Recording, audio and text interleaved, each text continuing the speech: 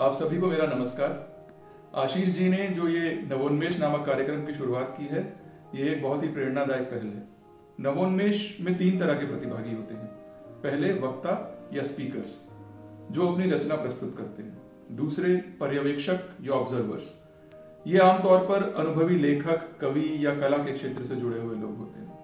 और तीसरे होते हैं दर्शक या ऑडियंस, जिनको कार्यक्रम के अंतिम भाग में मौका मिलता है अपनी अभिव्यक्ति करने का और वक्ताओं से वार्तालाप करने का।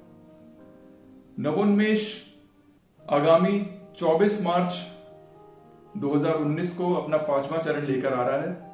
आशीष जी की हमेशा यह कोशिश रहती है कि नवोन्मेष का हर चरण एक नए स्थान पर आयोजित हो, जिससे कार्यक्रम का रोमांच बना रहे।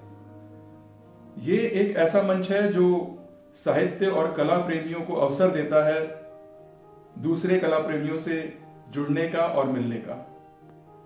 मेरा आप सभी से अनुरोध है कि आप भी इस मंच से जुड़िए और अपनी रचनात्मक और कलात्मक अनुभूति का आनंद लीजिए।